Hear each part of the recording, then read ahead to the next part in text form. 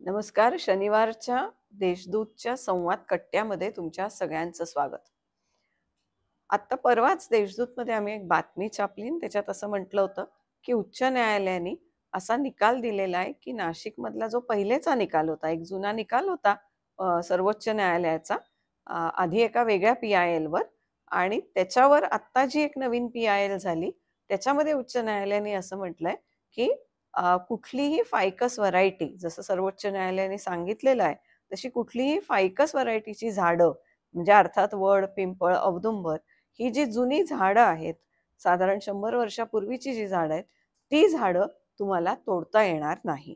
कुठल्याही कारणासाठी ही झाडं तोडता येणार नाही. याचा अर्थ असा की नाशिकमधल्या जुन्या झाडांचं संवर्धन हे होणं गरजेचं आहे. रस्त्याचं बांधकाम बिल्डिंगांचं बांधकाम यासाठी सुद्धा ही झाडं तुम्हाला तोडता येणार नाहीत. आणि या संदर्भात काही पर्यावरणवादी लोक ही उच्च न्यायालयात आता परत एक वेगळी पी आय एल घेऊन गेले होते आणि उच्च न्यायालयाने जुन्या सर्वोच्च न्यायालयाचा संदर्भ देत तो निर्णय त्यांनी तसाच्या तसा परत कायम ठेवलेला आहे. याच विषयावर आज आपण बोलणार आहोत की नाशिकमध्ये एकंदर झाडांची परिस्थिती काय आहे? झाडांचं संवर्धन कसं करायला पाहिजे? आपण आत्ताच उन्हाळ्यामधनं बाहेर आलेलो आहोत काही महिन्यांपूर्वीने आपण बघितलं की तापमान अतिशय वाढलं होतं. तसं ते ते ग्लोबलीच वाढलं पण नाशिकमध्ये सुद्धा त्याची झळ आपल्याला जाणवली आणि आपल्याला पूर्वीच्या नाशिकच्या झाडांची आठवण आली. ही आठवण आपल्याला फक्त उन्हाळ्यातच यावी का? का इतर वेळेससाठी सुद्धा ही झाडं आपल्याला तशीच कार्यरत हवी आहेत? तर यासाठी काय करायला पाहिजे? नाशिकच्या पर्यावरणाचं संवर्धन करणाऱ्या या तज्ज्ञांशी आपण बोलत आहोत. आणि हे बोलण्यासाठी आपण आज कट्ट्यावर आमंत्रित केलंय अमितजी कुलकर्णी अं, भाविस्करजी आणि प्रीतीजी उमाशंकर. तर या सगळ्यांची आपण बातचीत करणार आहोत. तुमच्या सगळ्यांचं स्वागत. अमितजी जसं मी म्हटलं की पूर्वीच्या काळी नाशिक दंडकारण्य म्हणून Yes. प्रसिद्ध होतं. आणि दंडकारण्य अर्थ असाच की हे एक जंगल होतं. बरोबर. आणि त्या अर्थात झाडांची कमतरता. हे पण अगदी साहजिक आहे की जशी वसाहत वाढत गेली मानव वस्ती वाढत गेली तशी झाडांची संख्या कमी होत झाले. आणि आता जसे आपले रस्ते वाढतायत वसाहती वाढतायत तशी ती संख्या कमी होते पण त्याचा परिणाम पण आपण बघतोय. आणि या उन्हाळ्यात आपण बघितलं तर आपल्याला खूपच जास्त जाणवलं की नाशिकची झाडं कमी झाली आहेत आणि तापमान तसं ग्लोबलीच वाढतंय. पण नाशिक सुद्धा त्याला काही अपवाद राहिलेला नाही तर अशा परिस्थितीत नाशिकचं समीकरण झाडांशी तुम्ही कसं बघता? ॲक्च्युली नाशिक आणि झा- झाडं वृक्ष हे कोणाला विचारलं तर कोणी तुम्हाला बाहेरच्या नाशिक बाहेरचे लोक पण सांगतील की नाशिक हे थंड हवेचं ठिकाण होतं आणि या ठिकाणी महाबळेश्वरची तुलना नाशिक बरोबर केली जायची. किंवा नाशिकमध्ये कधी उन्हाळा लोकांना जाणवलंच नाही एक साधारणतः आठ दहा वर्षापूर्वी. आता अचानक का जाणवं लागलं? तर मॅडम होतं असं आहे की लोकांना वृक्षारोपण करायचं आहे लोकांना नवीन नवीन वृक्ष बाल्कनीत पाहिजे रे तुमच्या गार्डनमध्ये पाहिजे रे. पण जे नाशिक शहरात जे जे आपण म्हणतो ना त्याला की खूप जुने वृक्ष आहेत ते लोक तोडण्या जेव्हा जाते नगर म्हणजे कोणी पण जाते तोडायला त्याच्याकडे दुर्लक्ष करताय लोक. तर हे कुठेतरी बदललं पाहिजे की जे रस्ते आपण रस्त्याच्या मधोमध म्हणतोय जसं आता उच्च न्यायालयाचा आदेश आला जोपर्यंत कोणी तुम्हाला राग म्हणजे आपण उच्च न्यायालय म्हणजे आता एक सर्वोच्च संस्था ही जेव्हा तुम्हाला बोलली की तुम्ही तोडू नाही शकत आणि तेव्हाच नगर म्हणजे नगरपालिका असेल प्रशासक संस्था हे थांबतील तर हे नको व्हायला हे आपण आपली जबाबदारी म्हणून ज्यावेळेस तुम्ही आता जसं आपण ज्या ठिकाणा एक गोष्टी घडल्या त्याच्यात उच्च न्यायालयात केस गेली. तर त्या ठिकाणी सुद्धा सा ठीक आहे बघा ऍक्सिडेंट होतात ऍक्सिडेंटमध्ये लोक जातात. हे आपण पण मान्य आहे. आपण पण त्याच्या आपण म्हणतो ना त्या भावनांची सहभागी आपण पण की आपण म्हणणार नाही की असं नको व्हायला. पण झाडं हे तिथं असलेच पाहिजे कारण की शंभर शंभर वर्षापूर्वीचे झाडं आहेत ते. ते जर नाही वाचले तर नाशिकचं पर्यावरण कसं टिकून राहील? नवीन झाडं येतील नवीन झाडं आता आपण जे झाडं लावतोय आपण म्हणतो कोटी झाडं लावणार लाख झाडं लावणार. पण त्यातलं जगता किती हा पण एक विषय शोधण्याचा विषय. आहे तर हे जे जगलेले झाडं आहेत जे मोठे झाड आहेत हे राहिले तरच नाशिकचं पर्यावरण राहील. कारण हे जर नाही राहिलं तर नाशिकचं पर्यावरण राहणार नाही. आणि आपण इतर गोष्टी त्याच्या बरोबर बघतोय की झाडं नाही राहिले तर पाणी पाऊस नाही राहणार. पाऊस नाही तर पाणी नाही राहणार. मग पाणी नाही आलं तर आपण कसं काय जगणार? तर हे सगळं निसर्ग चक्र आहे. अगदी खरं आहे. अं, तुम्ही जे म्हणता भाविस्करजी माझा प्रश्न तुम्हाला आहे की अं, एक उच्च न्यायालयाचा निकाल आला होता की फायकस व्हरायटीच्या झाडांना हात लावणं आता मुळात फायकस व्हरायटीची झाडं कोणती हे तुम्ही समजून सांगा. आणि त्यानंतर आपल्याला परत हायकोर्टात या निर्णयाविरुद्ध पर्यावरणवाद्यांना काय याचिका दाखल सर्वप्रथम आपण झाड हा श्वास आहे त्रास नाही हे समजून घेणं. सर्व नाशिककरांनी म्हणजे आता तर जे वातावरण बदल उच्च तापमान वाढ होते याच्यात सर्वांनीच लक्षात घेणं गरजेचं आहे. आणि आपल्याला उच्च न्यायालयात जे याचिकाकर्ते होते यांच्या माध्यमातून दोन हजार सहामध्ये आपण मान्य उच्च न्यायालयात एक याचिका दाखल केली होती. आणि त्याचा निकाल दोन हजार चौदाला आणि नंतर अंतिम निकाल दोन हजार पंधरा साली त्या उच्च न्यायालयाने अंतिम निकाल दिलेले आहे. आणि त्या निकालामध्ये फायकस व्हरायटी म्हणजे जे वड पिंपळ औदुंबर नांद्रुक यासारखी जी झाडं आहेत यांना फायकस व्हरायटी म्हणतो आपण. ती झाडं कुठलेही असतील रस्त्यामध्ये असतील रस्त्यावर असतील रस्त्याचं बांधकाम करायचं असेल रस्ता मजबूतीकरण करायचं असेल रस्ता रुंदीकरण करायचं असेल अशा कुठल्याही विकास कामांसाठी ही झाडं तोडू शकत नाही किंवा ट्रान्सप्लांट म्हणजे त्याचं स्थलांतर करू शकत नाही असा स्पष्ट आदेश मान्य उच्च न्यायालयाने आठ मे दोन हजार पंधरा साली दिलेला होता. मग आता ह्या झाडांना काढू नका हे सांगण्यामध्ये नक्कीच न्यायालयाचं काहीतरी त्याच्यात त्या झाडांवर इतके पशुपक्षी घर करतात. एक सायकल तयार होते. एक जैवविविधता अन्न साखळी जे अबाधित राखण्यासाठी ह्या झाडांचं अनन्यसाधारण महत्त्व आहे. आणि जे वट आपण पंचवटी जी नाशिकची पंचवटी ती वडांसाठी प्रसिद्ध आहे. नाशिक हे वडांचं शहर आहे. तर अशी झाडं आपण छोट्या अतिशय क्षुल्लक कारणांसाठी आपण ही झाडं खूप झाडं आपण नाशिकची झाडं तोडल्यामुळे आपण आता तापमान चाळीसच्या वरती गेलेलं आहे. तर नक्कीच ही झाडं मान्य उच्च न्यायालयाला च्या आदेशाला सर्वोच्च न्यायालयात जेव्हा आव्हान दिलं गेलं तेव्हा सर्वोच्च न्यायालयाने हा निकाल तोच निकाल कायम राखलेला आहे. आणि आपल्याला आता सर्व नाशिककरांना ज्यांना झाडांचा त्रास जरी वाटत असेल त्यांना सुद्धा ह्या झाडांबरोबर जगावं लागणार आहे. तर ही जी फायकस व्हरायटीची वड पिंपळ औदुंबर नांदूर सारखी नाशिक शहरातली जी झाडं आहे ती आता कुठेही असतील रस्त्याच्या मध्ये असतील रस्त्याच्या बाजूला असतील ती तशीच राहणार आहे. न्यायालयाने स्पष्ट आदेश दिले की आपण जर का ठरवलं माणसाने तर झाडं तिथे राहून रस्त्याची अलाइनमेंट चेंज करता येते ना आपल्याला. रस्ता नक्कीच बदलवता येतं. असं नाही की झाडं असेल तर आपण जाऊ शकणार नाही. आपण ठरवलं तर झाडाला तिथेच ठेवून वाहतुकीचे नियमांचे योग्य पालन आपण केले तर अपघात होण्याचा काही एक संबंध येत नाही. झाडं तिथेच राहतील आणि आपल्याला झाडांबरोबरच जगावं लागणार आहे. तर अशी झाडांची जर का परत पालिकेमार्फत किंवा इतर नागरिकांमार्फत परत ही झाडं तोडण्याचा कधी कोणी प्रयत्न केला तर माननीय उच्च न्यायालयाने स्पष्ट सांगितलेलं आहे. तर तुम्ही याच्या याचिका परत दाखल करण्यासाठी आमच्या न्यायालयाचे दरवाजे तुमच्यासाठी नेहमीच उघडे राहणार आहे. त्याच्यामुळे हा न्यायालयाचा आदेश सर्वांसाठी महत्त्वाचा आहे आणि त्याचं आपण सर्वांनीच पालन करायचं आहे. निश्चितच. आता हा न्यायालयाचा आदेश पण आलेला आहे. मॅडम मला असं सांगा की साधारणपणे किती अशी झाडं नाशिकभर आहेत? आपण म्हणतो की एक संख्या चौदाशे अशी वारसा झाडांची सांगितली जाते. तर ही कुठ कुठल्या व्हरायटीची झाडं आहेत? यात कुठली झाडं जास्त आहेत? की जी जपणं गरजेचं आहे? महत्त्वाचं म्हणजे चाळीस लाख अशी नाशिकात अशी संख्या बोलली जात होती की चाळीस लाख झाडं आहे. टोटल ट्री सेन्ससमध्ये हे जे शहर नाशिक आहे हे पिंपळाचं वडाचं शहर आहे. आणि सर्वात महत्त्वाचं म्हणजे पंचवटी आणि जसं तुम्ही म्हटलं दंडकारण्याचा हा क्षेत्र आहे. तर त्या क्षेत्रात हे सर्व जी झाडं ज्यांना सायंटिफिक लँग्वेजमध्ये आपण फायकस ट्रीज म्हणतो औदुंबर वड पिंपळ ह्यांची जी प्रजाती आहे ती ॲक्च्युली आपल्याला जपणं गरजेचं आहे.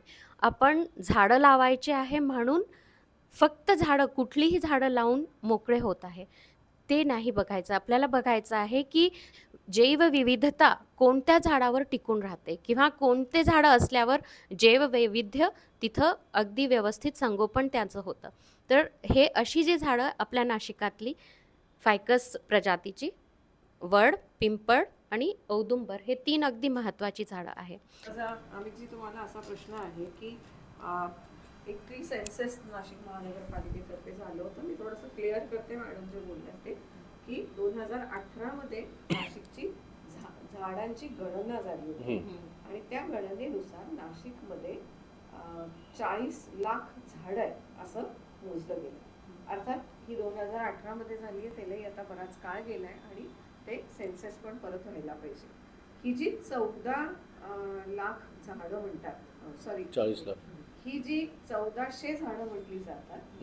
ही झाडं आहेत की ज्याचं संवर्धन करणं गरजेचं आहे कारण की ती चौदाशे झाडं ही शंभर वर्षापेक्षा जुनी झाडं आहेत. आणि जुनं झाड काढणं याला या उच्च न्यायालयाचा विरोध आहे. त्यांनी म्हटलंय की जी जुनी झाडं आहेत जी फायकस व्हरायटीची आहेत की ज्याला आपण वड पिंपळ औदुंबर असे म्हणतो ती झाडं जी भारतीय प्रजातीची आहेत ती काढू नये. अभिजी मला असा तुम्हाला प्रश्न आहे की आपण एकीकडे वडाची पूजा करतो आपण पिंपळाला चांगलं मानतो आपण औदुंबराला तर खूपच दत्ताचं स्थान आहे. आपल्याकडे. तर कुठेतरी आपल्या या संस्कृतीमध्ये सुद्धा या झाडांना खूप एक वेगळं महत्त्व दिलं गेलेलं आहे. आज आपण कुठे ते विसरत चाललोय का. समाजाचा सहभाग कुठे कमी पडतोय का? आपली जी संस्कृती पंचमहाभूतांवर उभी राहिलेली आहे पंचमहाभूतांमध्ये आपले झाडं पाणी वगैरे हे सगळे येतात. त्या अनुषंगाने आपल्या संस्कृतीमध्ये किंवा आपल्या ज्या भारतीय संस्कृतीमध्ये वडाची पूजा वगैरे केली तसं तुम्ही सांगितलं. वधुंबराला आपण एखाद्या विशिष्ट देवाचं किंवा आपण स्थान दिलेलं आहे. तर आपण हे मानतो पण हे जेव्हा आपण वृक्ष- आपल्या घरातल्या बांधकाम असेल वगैरे हे आपण विसरून जातो. की नाही हे र- पिंपळाचं झा झाड आहे आपण याला मुंजा वगैरे म्हणतो किंवा आपण वडाचं झाड आहे याला आपण अं, सावध वट पौर्णिमेला आपण याला धागे बांधतो. पण हे जेव्हा धागे बांधून झाल्यानंतर आपण नंतर हे झाड जेव्हा तोडायला तेव्हाच त्यावेळेस आपण ते वडा झाड आपण धागे बांधले तर आपण याला वाचवलं पाहिजे. हे आपण करत नाही. एक तुम्हाला छोटंसं उदाहरण देतो मी की ज्या ठिकाणी आम्ही नदीसाठी काम करतो त्या ठिकाणी दोनशे अडीचशे वर्षापूर्वीचं वडाचं झाड होतं की ज्या ठिकाणाहून फ्लायओव्हर जाणार होते. तर फ्लायओव्हरसाठी ज्यावेळेस आपण लोकांना जाणीव करून दिली की नाही हे झाड जे आहे हे आपण लहानपणापासून या झाडाखालून आपण आपल्या घराकडे जातो आपण. आणि हा हे झाड आपल्याला एक आठ दिवसांनी झाड दिसणार नाही आपल्याला. तर त्या ठिकाणी लोकांच्या ज्या भावना होत्या हे आपण जागे केल्यामुळे काय झालं? लोक त्या ठिकाणी आंदोलनावर उभे राहिले. आणि सोशल मीडियावर असू द्या तुमच्या ग्राउंड लेवलला असू द्या एक मोठं आंदोलन उभं राहिलं. लोकांच्या भावना जागृत झाल्यामुळं. की नाही हे झाड मला दिसणार नाही मी लहानपणा बालपणापासून झाडाच्या खालून गेले या ठिकाणी आलेलं आहे मी. त्या ठिकाणी आल्यामुळं ते झाड वाचलं. आणि झाड वाचल्यामुळं काय झालं की तिथली जी जीवसृष्टी होती जीव विरोध होती ही सगळी वाचली. आणि जे कॉन्क्रिटीकरण केलं जाणार होतं आपल्या विकासाच्या नावाखाली ते कुठेतरी थांबलं. आणि ते झाड वाचल्यामुळं तिथली जी म्हणजे जवळजवळ हजार अकराशे झाडं पूर्ण त्या परिसरातली वाचली. ह्याला आपण म्हणतो लोकांमध्ये जनजागृती येणं गरजेचं आहे. आणि आपण जे संस्कृतीत आपल्या जे दिलेलं आहे हे नुसतं आपण करतो हे न होता आपण त्या झाडांमागे उभं पण राहिलं पाहिजे. म्हणजे आपण सांगतो की तुम्ही जाईल वड वटपौर्णिमा सांगितली किंवा आपण औदुंबरचं सांगितलं आपण कडू कडुलिंबाचे सा झाडं असतील हे आपण आयुर्वेदिक म्हणून उपचार घेतो त्याच्या. पण मग ते झाडं वाचली पाहिजे त्यासाठी पण आपण उभं राहायला पाहिजे. नुसतं त्याच्या संस्कृती जगली पाहिजे त्याच्याकडनं आपण फक्त फायदा बघतोय. पण त्याच्यासाठी आपण उभं राहत नाही. निश्चितच. असं मला सांगा की एकीकडे असंही म्हटलं गेलंय की आजकाल झाडं लावण्याच्या मोहिमा खूप घेतल्या जातात अनेक सामाजिक संस्था त्याच्यात पुढाकार घेतात पर्यावरणवादी संस्था त्याच्यात पुढाकार घेतात. काही अंशी आपलं प्रशासनही त्याच्यात सहभाग घेतो. की कुठली झाडं कुठे लावावीत याचे काही निकष आहेत का? ती झाडांचं संवर्धन करावं याचे काही निकष आहेत. नक्कीच मॅडम. एक प्र आता अनेक सामाजिक संस्था या वृक्षारोपणाच्या याच्यात काम करत आहेत आणि आपण एक वृक्षनिधी असतो. सरकारकडे एक वृक्षनिधी मोठ्या प्रमाणात ह्या वर्षी एक साधारण सोळा कोटी रुपये नाशिक महानगरपालिकेबद्दल सांगायचं तर यावर्षी सोळा कोटी रुपये तब्बल सोळा कोटी रुपये फक्त वृक्षांचं संगोपन करण्यासाठी आपण नागरिकांनी त्यांच्याकडे दिलेलं आहे. तर एवढ्या मोठ्या निधीमध्ये आपण नक्कीच चांगल्या प्रकारची झाडं लावायला पाहिजे. तर झाड कुठलं लावायचं हे अत्यंत झाड जपण्यापेक्षाही जास्त कुठल्या झाडाचं निवड करायची हे जास्त महत्त्वाचं आहे. कारण की तुम्ही जसं बघत आता आपण गुलमोहराचे आपल्या नाशिकमधले खूप झाडं तुम्ही बघितली असेल. ते ज्या झाडांचे गुलमोहराचे झाडे पडून अनेकांची जीवितहानी झालेली वित्तहानी झालेली जीवितहानी झालेली पण ती ही जी जी भार परदेशी झाडं आहे विदेशी जी झाडं आहेत यांची मुळं ही जमिनीत समांतर जातात आणि त्याच्यावर त्यांच्या जे पालापाचोळ्याचं जे विघटन करण्याचे घटकही आपल्या मातीत नाही. त्याच्यामुळे काय होतं की ती झाडं एक लवकर पडतात. वादा वादा वारं वादा आलं की ती लवकर पडून त्याच्यापासून आपल्याला हानी होते. तर आपल्याकडे जर का वृक्ष प्रजातींचा खजिना आहे आपला भारत देश अशा भारत देशामध्ये इतकी प्रकार प्रजातींची झाडं असताना आपण ते विदेशी शोभेजीवंत विदेशी झाडांकडे वळण्यात काहीच अर्थ नाही आहे आपल्याकडे वड पिंपळसारखं असे आम्ही आता नगरपालिकेला जवळजवळ तीनशे मोठ्या वृक्ष प्रजातींचे जी भारतीय वृक्ष प्रजाती त्यांची यादी दिलेली आहे. ह्या भारतीय प्रजातींच्या झाडांमुळे जीववैविधता ही वाढत असते त्याच्यावर पक्षी घर करत असतात त्यांचा अधिवास वाढतो आणि अन्न साखळी अबाधित राहण्यासाठी असा एक वन विभागाचा राज्य सरकारचा आदेशच आहे. या आदेशांची फक्त जर का सरकारने नगरपालिका नगर परिषदा या ग्रामपंचायती यांनी जर का त्याचा फॉलोअप किंवा त्यांची आदेशांचं पालन केलं तरी एक खूप मोठं याच्याने काम होणार आहे. तर नाशिक महानगरपालिकेला केंद्र सरकारकडनं याचं एक उदाहरण सांगायचं तर एक स्वच्छ हवा अभियान याच्या अंतर्गत काही निधी त्यांनी दिलेला होतो. त्यांना अपेक्षित होतं की ह्या स्वच्छ हवा होण्यासाठी भारतीय प्रजातीची झाडं यांनी लावली पाहिजेत तर नाशिकमध्ये नाशिक महानगरपालिकेला आम्ही अनेक वेळा सांगून ही भारतीय प्रजातींच्या झाडांच्या यादी दिल्यानंतरही नाशिक महानगरपालिकेने प्रत्येक डिवायडरमध्ये टर्मिलिल्या मादागास्कर म्हणजे आता आपण मागे गुलमोहर होतो. आता जसं तुम्ही म्हटलं ट्री सेन्सेस झाला आपला. चाळीस लाखपेक्षा झाडं ब नाशिक शहरामध्ये आहेत. याच्यातली साठ टक्के झाडं मॅडम विदेशी झाडं आहेत. म्हणजे फारच कमी जी झाडं आहेत ती पशुपक्ष्यांसाठी आपल्या जैवविविधतेसाठी उपयोगाची तर नक्कीच आपल्याला याच्यात बदल घडून आणणं आवश्यक आहे. म्हणजे आपण ज्या चुका केल्या त्या परत चुका आपण त्याच चुका परत करण्यात काही अर्थ नाही. म्हणजे एवढे आपले मोठे मोठे अधिकारी आपण तिथे शिक्षित अधिकारी आपण तिथे बसवलेले असताना त्याच चुका परत होणं हे चुकीचं ठरतं तर जे टर्मिनिल्या म्हणजे आता आपल्या वन विभागामध्ये ग्लिरिसिडिया ज्याला गिरीपुष्प म्हणतो त्या झाडामुळे ती ती झाडाने पूर्ण जंगल काबीज करून टाकलेलं. आहे म्हणजे ती इतक्या अति आक्रमककारी ही जी झाडं आहेत ही आपली पूर्ण जैवविविधता संपून टाकतात दुसऱ्या झाडांना जगू देत नाही.